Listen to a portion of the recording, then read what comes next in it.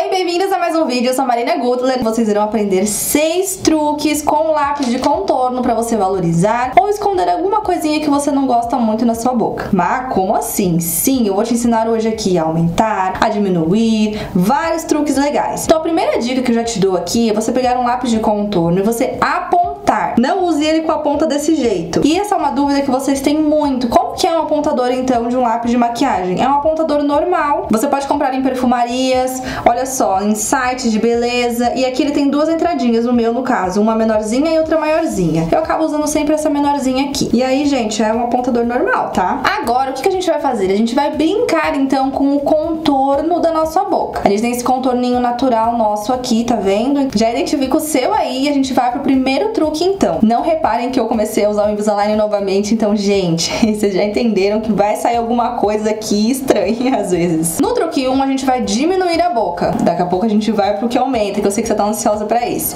Então como que a gente faz isso? A gente vai contornar nada além da nossa linha natural da boca. Eu vou contornar dentro da minha linha natural. Olha a diferença. Vocês conseguem ver como esse ladinho já ficou muito menor? Ó, vou fazer em toda a parte superior pra vocês verem. E se você quiser criar esse efeito, tanto na parte superior quanto na inferior ou nas duas, é isso. Truque 2, vamos estreitar, ou seja, encurtar um pouquinho a nossa boca. Como que a gente vai fazer isso? A gente vai preencher por dentro também, só que somente neste cantinho aqui. Desse lado você vai encurtar também um pouquinho mais pra dentro. E o restante você contorna no seu lábio normal, na sua linha normal.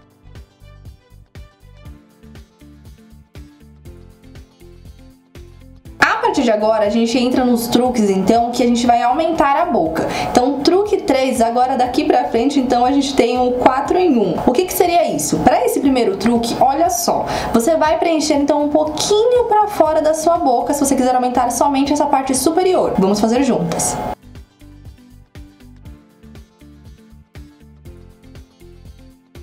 Olha a diferença já.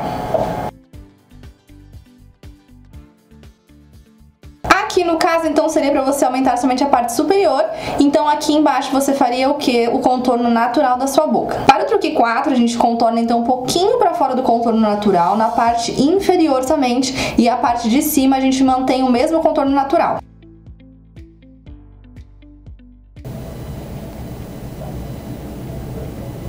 Olha como já dá um super volume, né? Demais. Mas você ensinou como estreitar a boca. Então, como que eu faço para alargar a minha boca, deixar ela um pouco mais compridinha? No truque 2, a gente fez o quê? Preencheu por dentro. Agora, nesse truque 5, a gente vai preencher um pouquinho por fora, somente nessa região aqui.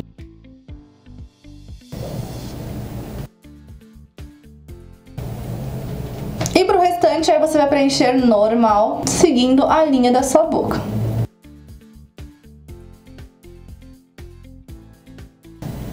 boca mais larga.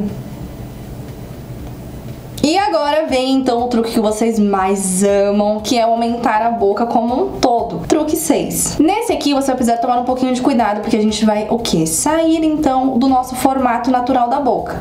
Aqui você pode construir então formato coraçãozinho, formato reto, esse, esse xizinho, o jeito que você gostar mais. Como eu comentei, então a gente sai do nosso contorno natural, então isso pode parecer artificial. Então o que, que a gente pode fazer? Eu vou te ensinar um truque aqui com o iluminador. Vamos contornar um pouquinho pouquinho para fora do nosso contorno natural.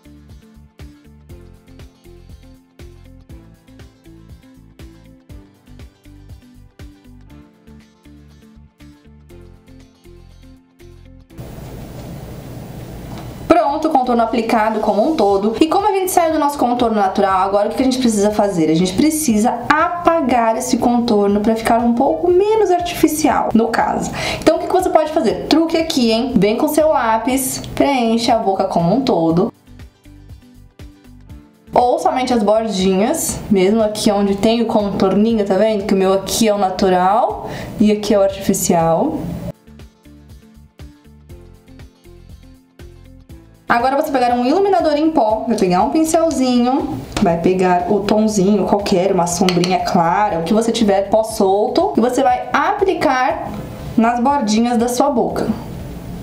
Dessa forma, a gente vai apagar esse contorninho e vamos juntar com o nosso contorninho natural. Apagamos, então.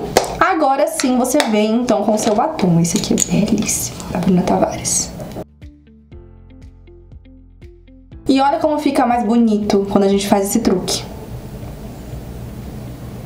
Boca maior, hein? Já me conta aqui qual truque você vai começar a usar a partir de agora, depois desse vídeo. E claro que você vai mandar esse vídeo pra uma amiga, né? Porque a sua amiga merece conhecer super todos esses truques que eu mostrei pra vocês. Já conto com sua joinha do amor, se inscreva aqui no canal pra vocês não perderem nada. E me acompanha lá no Instagram também que eu vou amar ter vocês comigo. Beijo, até o próximo vídeo!